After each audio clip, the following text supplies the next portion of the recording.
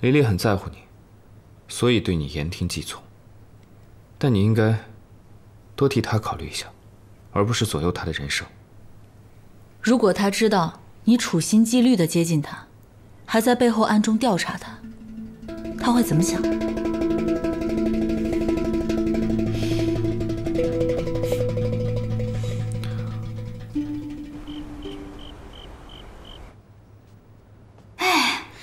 真是上天永远不会辜负努力的孩子，终于拿下版权了。那，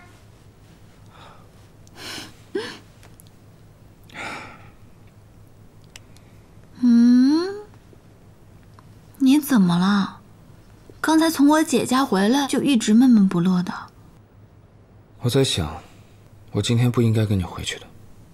为什么这么说？我姐欺负你了？没有，我只是怕你。难做？怎么会呢？你们都这么爱我，这是甜蜜的烦恼，我开心还来不及呢。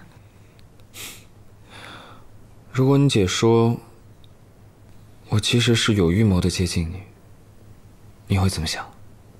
有预谋？因为喜欢所以接近，没有问题啊。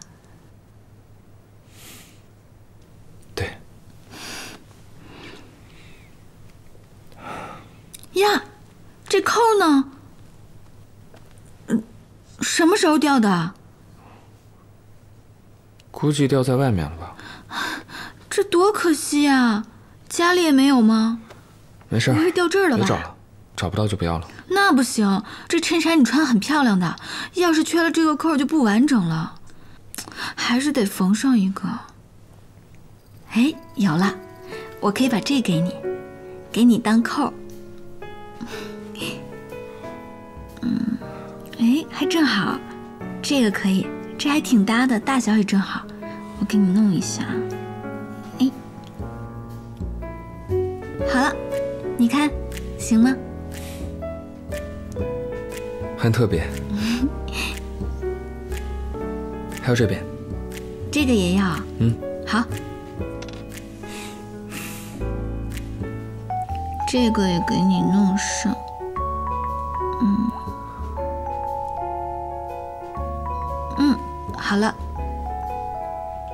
哇，江离离所有物的标记，太好看了，比戴在我耳朵上还好看，好别致啊！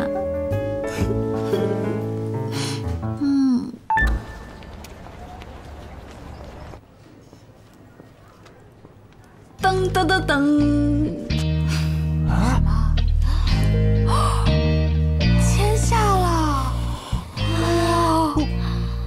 哇，哇小然姐，小然姐够，小然姐办事硬邦邦。嗯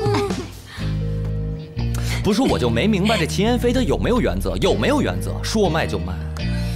我精心制作的宫琴一百零八招还没派上用场。